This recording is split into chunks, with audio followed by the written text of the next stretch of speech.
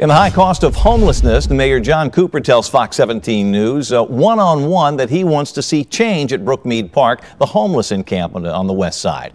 Fox 17 News' Amanda Chan is live in West Nashville with the mayor's plan as well as reaction from both residents and nonprofits who work with the homeless. Scott, if you take a look behind me, you'll see here some belongings that are set up just outside of the park, along with shopping carts and trash. The mayor telling us for the first time he'd like to get something done this year.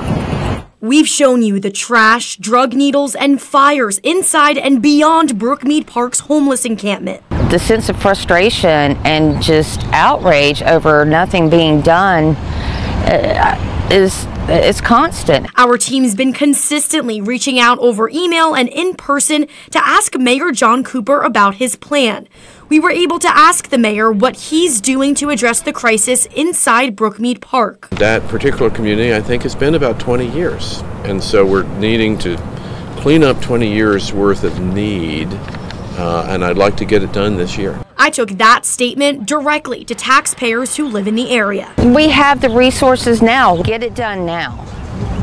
It should have been done already. India Pungarcher with nonprofit Open Table Nashville believes one encampment should not be prioritized over another. If that includes getting all the residents permanent housing, you know, that is our end goal. While the mayor says the number of people at Brookmeade has gone down, many community members tell us they only feel the problem's gotten worse. That's a, a failure of society that we have that going on, and it can't be a failure of government that we're not willing to address the human need that exists in each one of those individuals. Pungarcher says she'd rather hear the mayor commit to more affordable housing units in Nashville. Busy parks and bustling sidewalks for Germantown residents. Perfect taxpayer perks on a sunny day, but District 19 Metro Council member Freddie O'Connell wonders how much longer it'll last. I'm happy to welcome guests into our city and our park system, but really, it is our taxpayers who have put these parks here for residents in Nashville. So ultimately, I'm concerned that we're losing affordable housing. O'Connell points to what used to be affordable housing, the Shiloh Apartments in Salemtown, but it was just granted multiple short-term rental permits. All of those units are going to be non-owner occupied short-term rental units. Tell us, how does this impact a neighborhood? You know, if we see what we've seen in other areas where this has been an issue, then this place might fill up one weekend where 20 bachelorettes are here and they come home from the bars and I get complaints about noise and trash and everything else. Applying for similar permits now would be difficult given a policy implemented in September of 2020. We have some new regulations saying you can't be 100 feet from a park, but they got their master permit just before that policy was finalized.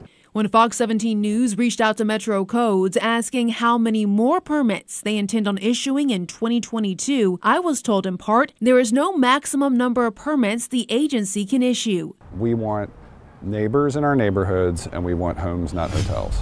Yes, the Tennessee Department of Transportation told me it was the perfect storm of events. They said that we've gotten more rainfall than usual and more freezing temperatures, and the roads in the area are at the end of their lifespan. Davidson County has had so many paving needs and projects, but Rebecca Hammonds with the Tennessee Department of Transportation says they can't meet the demand because asphalt plants won't open up during their off season. Is the state going to try to reach out to more contractors just because of this unusual season?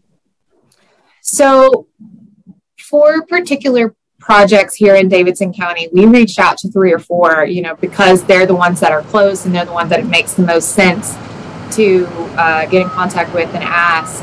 Uh, but we always have to go through a bid process. And this time, Hammond says they only had two to choose from. She explains Jones Bros Incorporated couldn't do the work because they're so busy and they don't have the staff. And Charles DeWeese Construction said no because they don't regularly do that type of work, which puts DOT behind schedule with pothole repairs. It's taking time. We don't have endless amounts of manpower. We don't have, you know, an endless number of companies to use or choose from. So what this means is DOT has to patch the potholes with a cold asphalt mix, which is only a temporary solution. Hammond says when asphalt plants are not up and running during the colder months, they don't have hot asphalt available to patch them with, which he says lasts a lot longer. And TDOT told me in the next coming weeks they will have at least five plants in operation to help repair these potholes.